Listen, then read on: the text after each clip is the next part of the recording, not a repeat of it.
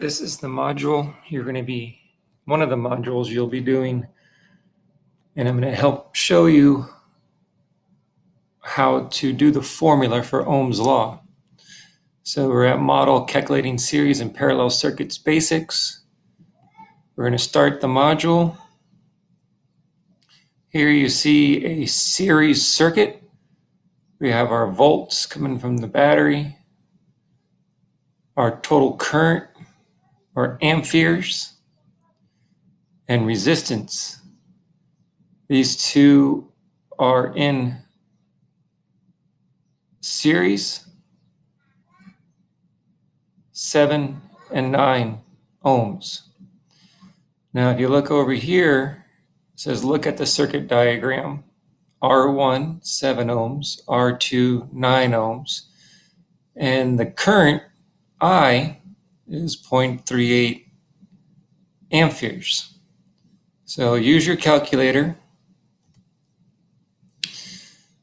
You can do this simple equation here. Resistance times current. So 9 plus 7, since it's in series, 16 times 0.38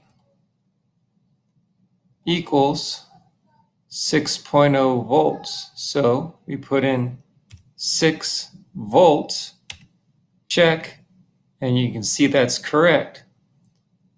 Now, I would like for you to do this bottom one here. These formulas will change on your screen, but this is just the basic form. Now, it's not in series anymore, we're in parallel. You look at this circuit. We have our battery with one volt. Our current is 1.13 amperes. Resistance through here is one ohm, and resistance through here is eight ohms. So the question here is look at the circuit diagram tells you all our information, and it says to calculate total resistance. So some of you might think, well, we got to add these again. Well, no, you don't, because they are not in series anymore. All right. So all we're going to do is volts divided by current so pop up your calculator again.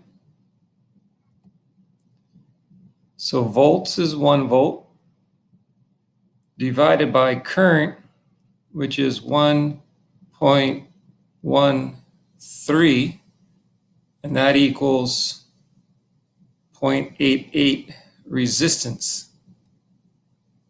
You usually only have to put out the two decimal, uh, two spaces past the decimal point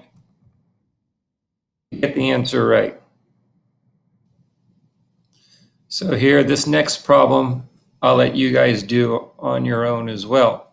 Again, up here, this might be a different formula, but follow the same process.